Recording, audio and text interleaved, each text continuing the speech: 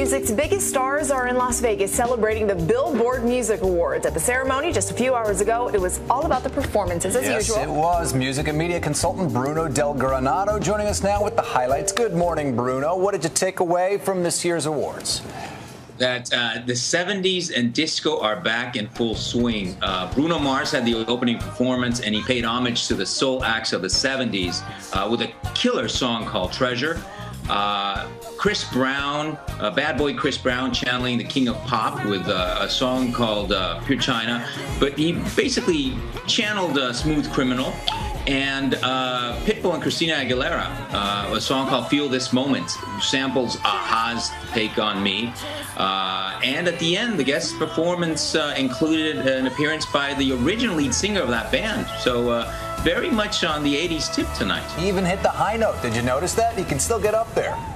Yes, you did. He can. Absolutely right about that. that. Take on me. Wow, he went all the that way up thing. there. Yeah, he was crazy. Very was great. nice. Now, everybody is talking about this one performance, the performance by Prince. Even our viewers, we asked on Facebook their favorite performance, and that was the one everybody's talking about. He was one of the many performers that got a special award.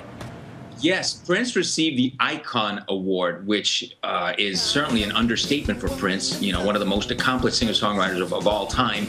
Uh, he had the task of performing at the end of the show for 10 minutes, solid 10 minutes. He was channeling himself from the 80s and channeling Jimi Hendrix as well, one of his heroes.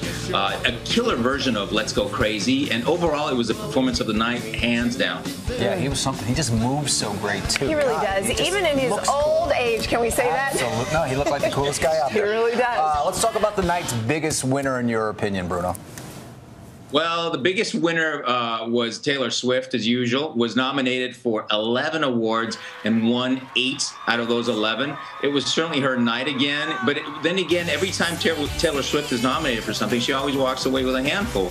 Uh, and it's, it's, it's, due in part to the very successful record she has uh, that sold over 4 million copies to date. So she's definitely the biggest winner of the night by far by because of awards. So now, Bruno, is it any surprise? I know you're saying she walks away with a handful every time, but a lot of people were nominated for a lot of awards, including Justin Bieber. He wasn't a big winner. Are you surprised that it was Taylor Swift that walked away with so many? I wasn't surprised that Taylor Swift walked away with so many because she, going in, she already had 11. So chances are she was going to walk away with at least 50%. Interesting thing about Justin Bieber, guys, he uh, accepted the Milestone Award and he kind of had a little meltdown in there talking about all the haters and everything else. And uh, it was not really well received with the audience, I think. Yeah, kind of the wrong place for that. that. was an interesting one. I wasn't sure. I was going to ask you if it, if it was poignant or it was sort of awkward. It came across awkward? It, it, certainly came across as awkward, and I think the audience also uh, let him know that because there were a lot of uh, boos and hisses there as well. Mm-hmm. Okay. All right, Bruno Del Granado, always with lots of insight. Thank you for joining us this morning from Miami. All right, thanks, watching, guys. Thanks, Bruno. You're watching World News now.